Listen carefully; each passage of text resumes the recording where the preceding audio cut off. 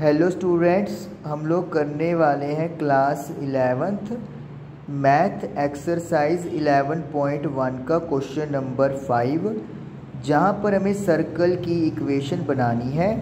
हमें सेंटर के coordinates minus A comma minus B और रेडियस जो है वो गिवन है।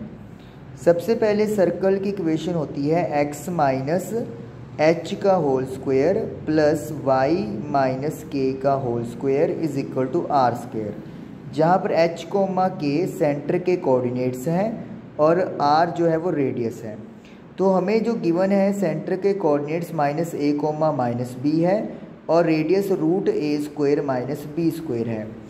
एक्स का एक्स लिख देंगे माइनस का माइनस एच की जगह पे लिख देंगे माइनस ए और के की जगह लिख देंगे माइनस बी और आर की जगह लिख देंगे root A square minus B square minus minus plus तो एक्स प्लस ए का whole square minus minus plus Y plus B का होल स्क्वेयर और जब रूट का स्क्वेयर करेंगे तो रूट हट जाएगा.